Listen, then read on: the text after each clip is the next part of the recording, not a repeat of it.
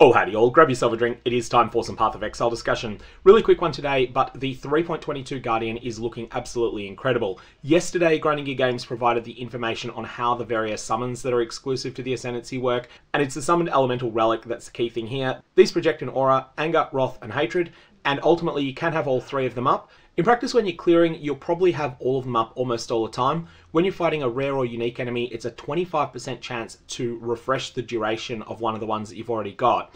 And it can refresh the duration of the one that's got the longest left on it. So you're not going to have 100% uptime against bosses, but it will get pretty close, especially if you and your allies, i.e. potentially Absolution minions, are hitting at least six times a second. If you're hitting six times a second, you should have approximately 85% uptime on each of the individual auras. Now, the news we got today is the way that these scale with levels, and it is pretty phenomenal. So, what's going to happen is you're going to end up with a gem level 27.5 version of Anger, Hatred, and Wrath. We've got exact numbers here, but basically the flat damage is 60 to 80% better than a level 20 version of that aura, whereas all of the percentage damage increases are closer to 10% better than a level 20 version of that aura. Keep in mind that you're getting this with no cost of reservation, so it's going to be a very big deal. It's going to have a slight mana drain on you, but not anything overwhelming. A maximum mana expenditure of 11 mana per 300 milliseconds, but in practice it's going to be much less often than that.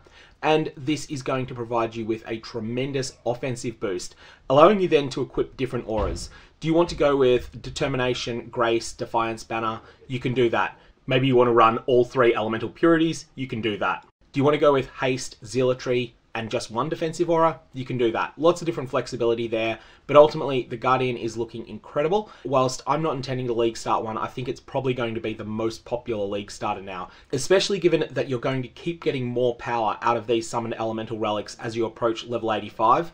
And in particular, you will get more uptime on them as you start acting faster. So, if you're looking for a league start option, Guardian looks really good. Absolution is probably the skill that jumps out at me as being the most impressive with it, but it's far from the only option. There's a lot of things you can do. Essentially anything that gets a lot of benefit from flat damage and also originally deals physical damage to get maximum benefit out of Hatred.